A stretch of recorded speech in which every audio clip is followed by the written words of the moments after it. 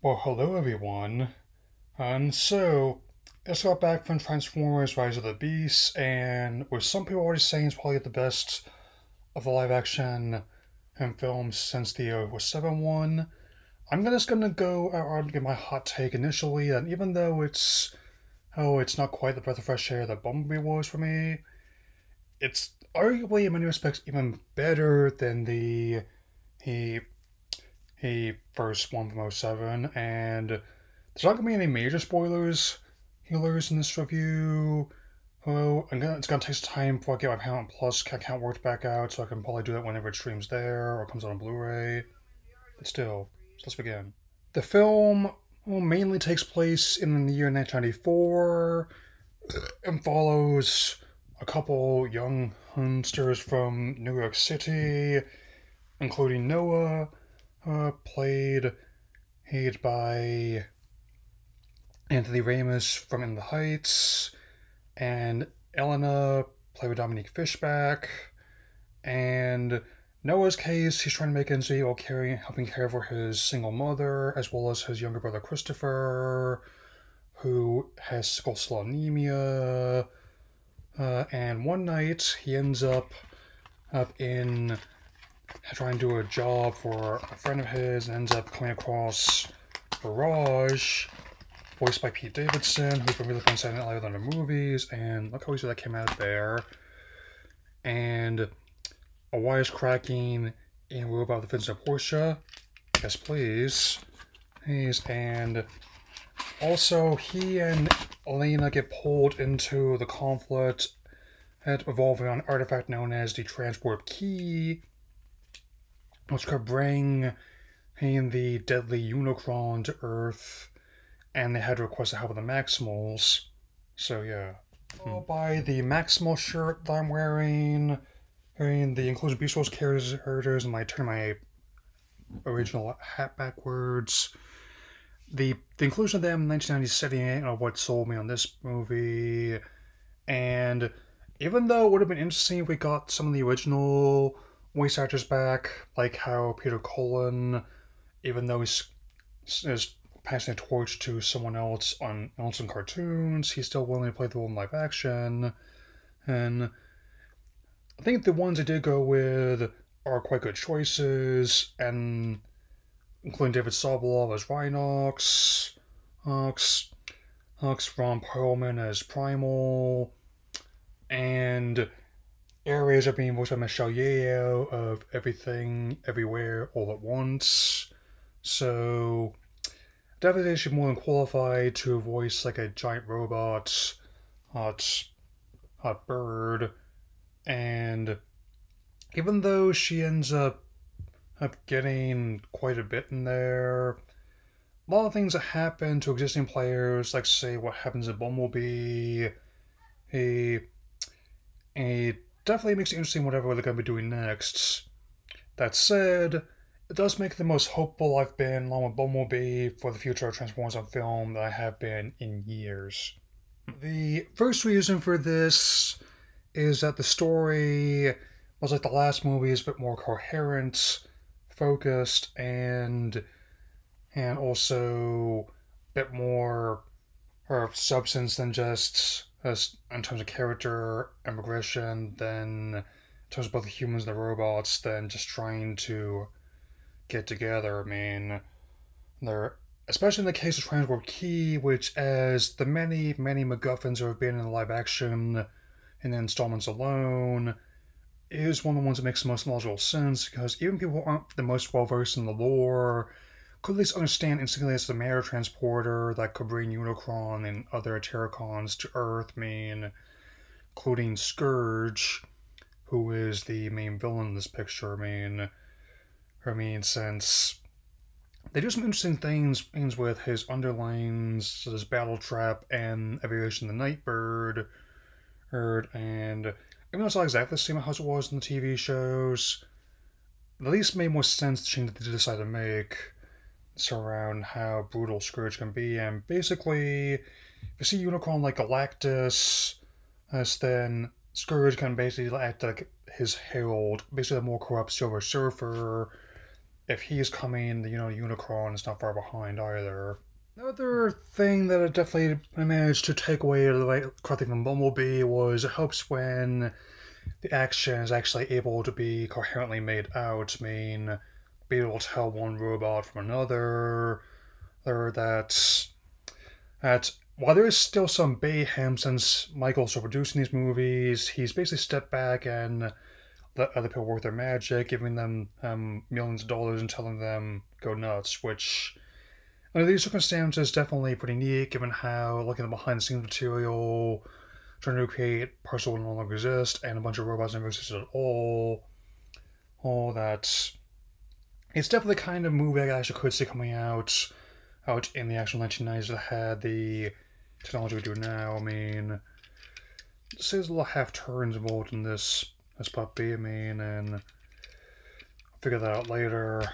And I'm not sure if they are about making like a G.I. Joe crossover right away, but I would not object to it after they made a Vigilant and this new cartoon, and especially they treated Snake Eyes like never happened.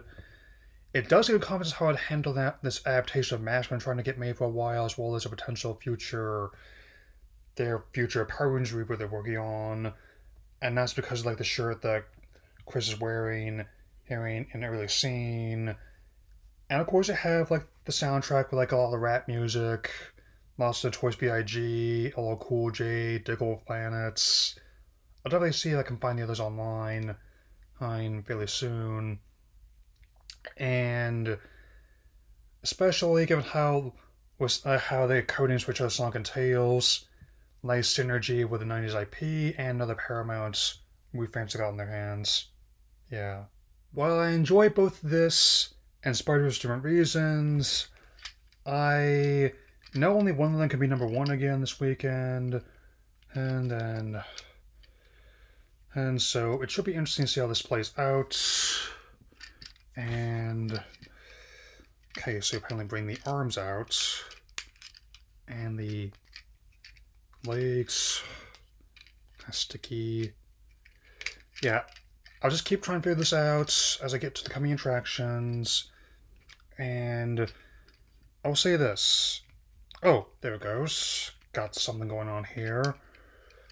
I will definitely say that this movie, I'm very much open to a third one, especially hey, given how they seem to be heavily implying it's not going to be the last we have seen a Unicron, which like, has not been other continuities.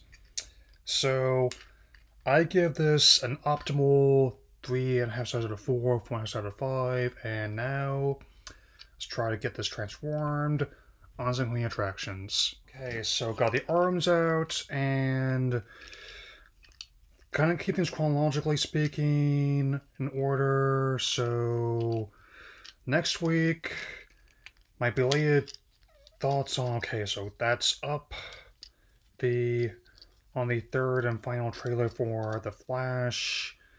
And even though it's probably the most most clear look at the plots that I've seen, even with all the drama that's been going on, and still am not sold on going right away. If you want to go to it, I'm not going to try and stop you, but just let me know, just know, know that you're going to be the test subject for it, since I'm not going to be. I mean, I have at least heard good things about Keaton coming back as Batman and and Sasha Calle as Supergirl. Hopefully, she'll be back for the reboots. And but still, I definitely is coming along all right. Hey, we it's definitely looking it has not been like among the best ones I've seen, as other people are trying to claim, least of all the studio. I do kind of like these Pink Floyd's Time, which does at least fit somewhat, even if it's a bit kind of Snydery and obvious song choice. Wise, if all this fails, and if I'm not swayed, I'm just gonna wait for it to come on Max. Who knows? Don't worry, I'll get this. I'm most likely going to see Elemental, whether or not my nephew's going to be visiting me for his birthday. We'll see. You hmm. know, got transformed. I guess the midsection was a little stiff. And on that note, Indiana Jones Dial of Destiny. He definitely a log for July weekend, and that one I feel more suspicious about how the what people are saying, and because I think it looks like it's gonna be much like the other movies, just like a pure fun adventure in the vein of the pulp films or inspiration. I'm binging the other movies well as as the Indiana Jones TV series online before I I see it, and definitely gonna miss Ford as Indy when all is said and done, and it's also not the only blockbuster franchise that's gonna be a, a ending its impact on pop culture and yeah, so not a little bad. Apparently, they changed the head sculpt a little bit as well, so there's that. July 12th, the first part of Mission Impossible Dead Reckoning, with the other parts, barring anything going on with a strike, due out next year. The two part series finale to the long Mission Impossible film series is set to go off with a bang, and with both parts being filmed with a record $290 million budget and see if we did that money on the screen, and even with had Tom's infamy and his personal life. So let's just say that Miller is not the first person I've dealt with who has had like a kind of touchy personal life. I understand why Tom keeps getting work, and holy snaky, that is a great stunt there where he motorcycle jumps off a cliff and into a base dive for real. And he's old enough to be my dad, so and when you are in person in his position and basically have nothing to lose at this point. So, yeah, I'm definitely keeping an eye on this one. And as I mentioned before, I want to get Paramount Plus for the account again so I can do my retrospective of the other movies as well. Just my own taste setback is all. Okay, mm. so July 21st, Oppenheimer, which he took, which known to the Universal after breaking off ties with Warner Brothers, which, given the current state of the company, he definitely chose to do it at the right time. And the same day, Barbie, which looks very interesting for very different reasons, like how tongue-in-cheek it is. I did not know the arms could do that. I could do that. Where apparently it can also become mm, like the gun in the movie that I just saw, I mean, where... And I would definitely agree with Damon's sentiment. I'm interested in both the very cheery, very movie about the toy, as well as a very dark, dramatic, prestige level war biopic for very different reasons. And but I'm probably asking who's gonna have enough time when I go see one right away.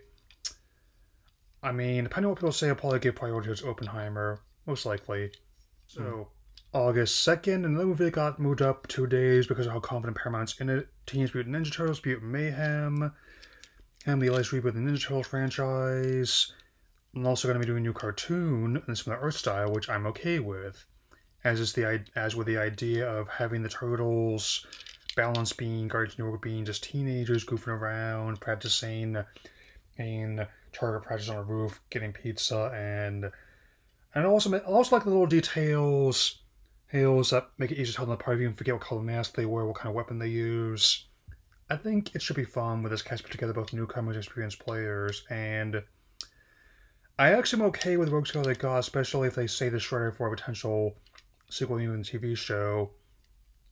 Especially I could see like a credit scene or setup saying like like if I am pleased he needs to make your acquaintance Oroku Saki and it could be like like my I only few people I know call me that name.